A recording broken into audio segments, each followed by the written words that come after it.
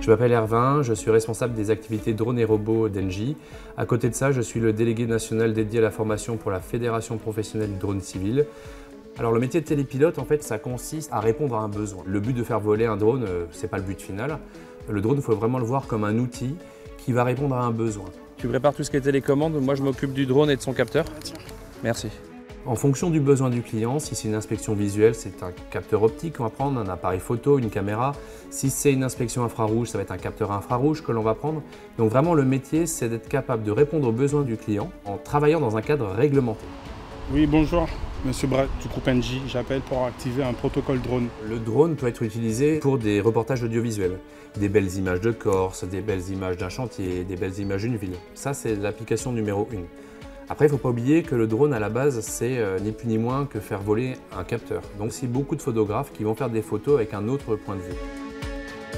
Alors, pour exercer ce type de métier, les qualités principales, je pense que c'est dans un premier temps la rigueur. Parce que comme on est dans un cadre réglementé, on ne peut pas faire tout et n'importe quoi.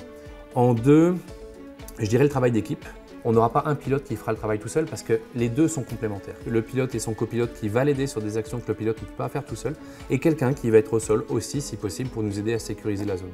On va brancher les parachutes. Ce que tu vas faire, c'est que tu vas décoller et tu vas te mettre à peu près à cette distance-ci nous avons mis en place deux certifications. La première qui correspond à répondre aux objectifs de la DGAC en termes de formation, qui consiste à faire voler un drone sans infraction. Mais ce qui est le plus important, c'est d'être capable de répondre aux besoins du client. Et ça, c'est la deuxième formation qui sera dédiée à une branche professionnelle.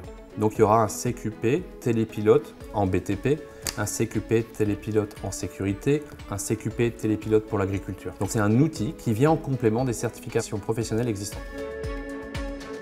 Dès qu'on va vouloir inspecter quelque chose en hauteur, par exemple en haut d'un pylône, bah, c'est beaucoup plus rapide en termes de captation de données, de levée de doute ou de prise d'information.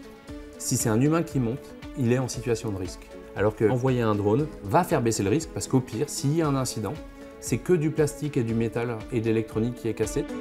Le drone peut être utilisé pour du suivi de chantier, ça peut être des inspections de réseaux électriques, pylônes ou lignes, ça peut être des réseaux gaziers, ça peut être de la toiture du bâtiment, ça peut être de l'industrie. Il peut y avoir de la vaporisation de produits, par exemple pour du nettoyage de toiture, du démoussage. Enfin, il y a mille applications différentes.